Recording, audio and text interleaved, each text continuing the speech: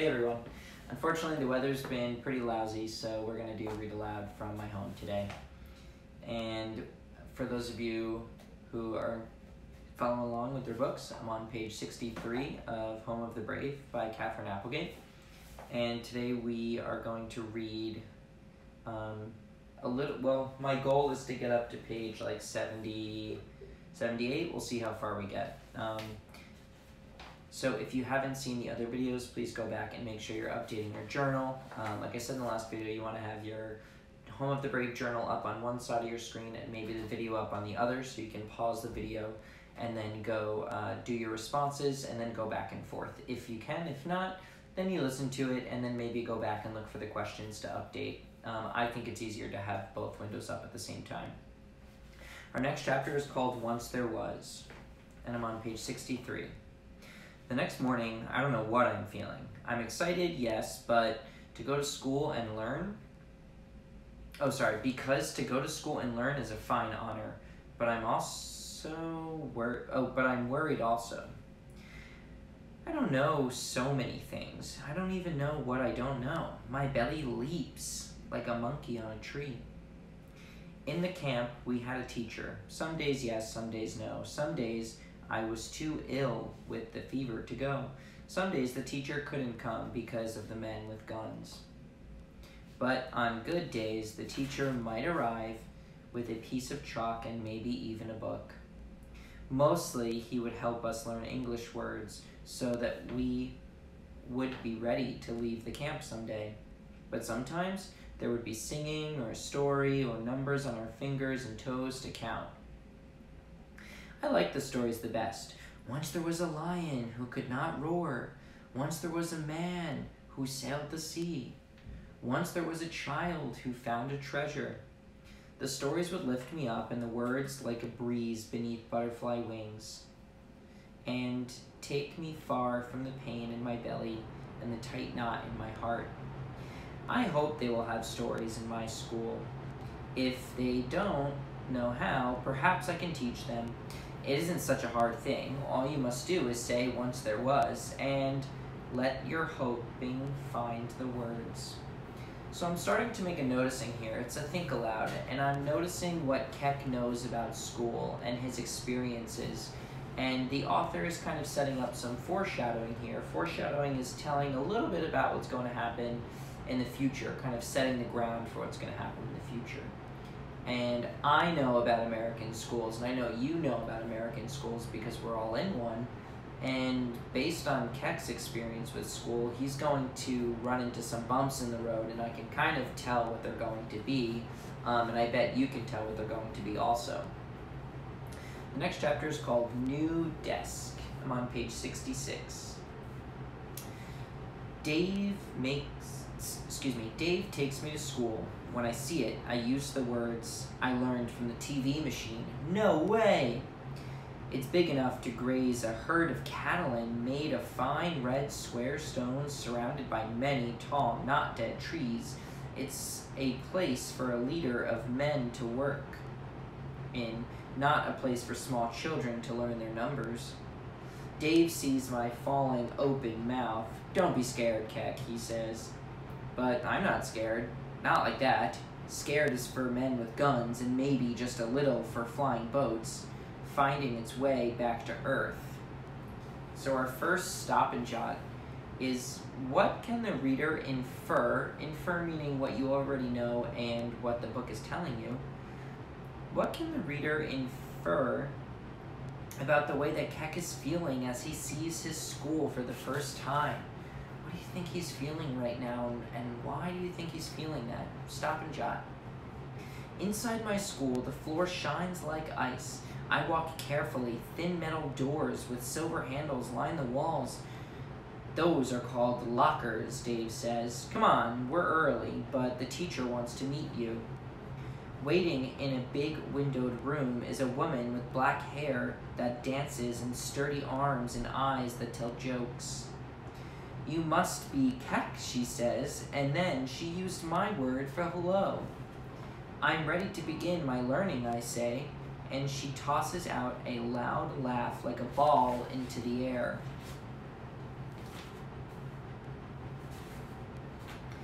I can see you mean business, she says. A man comes in, young and short, with skin the color of rich earth, just like mine. He reaches me. He, he says he is Mr. Franklin. And he helps sometimes in class when Mrs. Hernandez needs to do her deep breathing. Everyone laughs, so I laugh too, because it's always good to be polite. This will be your desk, Mrs. Hernandez says. Have a seat. She points to a shiny chair and little table. A chair of your of my own and a table I table excuse me and a table too. I smother the thought like an ember near dry grass. I'm very sorry, but I can't, I say softly. I don't have cattle for such a fine desk as this. Oh, she says, you don't have to pay for this desk, Kek. School's free here. You just bring your mind and your smile every day, okay? Carefully, I sit. I like very much this new desk with its cool, smooth top. My mouth will not stop smiling. Ready. You're not going to understand a lot of what we say at first, Mrs. Hernandez says. This is called an ESL class. You and your classmates will be learning English together it means they won't always understand you and you won't always understand them. I'm used to not understanding, I say. It's like playing a game with no rules. She nods. That's exactly what it's like. I know, because I came to the US from Mexico and I couldn't speak a word of English. This is a surprise. A teacher who did not know all things? Did you not know things also? I asked Mr. Franklin. Me? I'm from Baton Rouge, he says. That's kind of like another country. I couldn't understand these crazy northern folks for the longest time. Some of his words get lost on their way to my ears. But I can see from his face that his meaning is kind. When you have a question, Mr. Franklin, I will be here to help, says Mrs. Hernandez. Okay, I'm sorry, let me read that again. When you have a question, Mr. Franklin and I will be here to help, says Mrs. Hernandez. She points to the sky. You just raise your hand, like this, okay? I nod. I say okay, just like her. I raise my hand. Yes, she says, smiling big. I ask, when will the learning begin? So your next stop in Jot is says that some words get lost on the way to his ears. Do you think they really get lost? Can words really get lost? What actually happened here? What is what is the author trying to do for you here? The next chapter is cattle, page 73. That stop and jot again was for page 72. So the next chapter, cattle, page 73. In my class, my long name class called English as a Second Language, we were 16, 16 people with 12 ways of talking. When we talk at once, we sound like a music class. We, uh, I can hear down the hall hoots and squeaks and thuds, but no songs you can sing. I look at our faces and see all the colors of the earth brown and pink and yellow and white and black, and yet we are all sitting at the same desks, wanting to learn the same thing. Mrs. Hernandez tells everyone my name and my old home then she thanks us. No, sorry. Then she asks us to draw a picture on a black wall to show where we came from. One boy, Jamie from Guatemala, draws a mountain with a hole called a volcano. Sahar from Afghanistan draws a camel, th though, to be truthful, it looked more like a lumpy dog. I draw a bull with great carving horns, curving horns, like the finest in my father's herd. I even give him a smile, and it takes me a while to decide on his coat. In my words, we have ten different names for the colors of cattle. But the writing chalk is only white. I'm working on the tail when someone from the back of the room says, Moo!